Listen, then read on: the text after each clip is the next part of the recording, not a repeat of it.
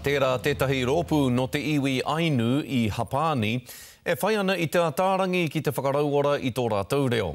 Kei Aotearoa te rōpū nei e whakawhanake ana i ētahi rautaki whakarauora hei whakahokia ake mā rātou ki te wā kāinga.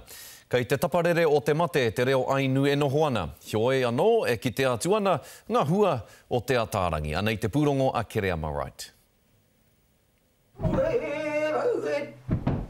Ko te iwi Ainu e whai ana i ngā tapuae whakarauora reo a te iwi Māori.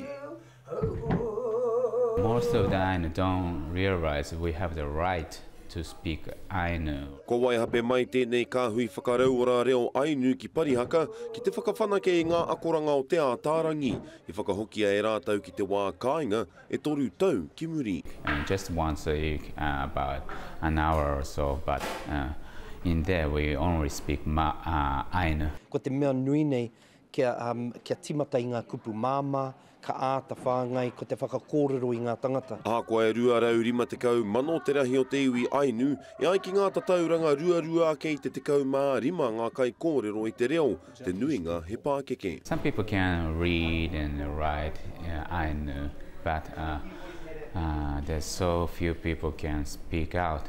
He iwi taketake te iwi Ainu, no te rau tau tekau ma iwa ka uru tomokia o ratou papa tipu ara ko te moutere o Hokairo i Hapani e te Hapanihi. Mea rawa ake ka tāmia te tangata, te ahurea me te reo. Also parents thought they don't want to teach Ainu to their children because the discrimination against Ainu was so harsh. Nā tērā e kitea ana ngā uauatanga e te wahine nāna Te Ataarangi i kawea atu ki Hokairo. Ko te kore kupu mō te ao o nāianei, pērā i ngā kupu kua hangaia e Te Ātaarangi, te Kura Kaupapa mō ngā mea pērā i te rorohiko. Heoi anō, hei tāna, inā te nui o ngā hua ka puta. Ehara ko te reo anake te mea nui. Ko te te oranga ngākau, te oranga wairua tonu o te tangata.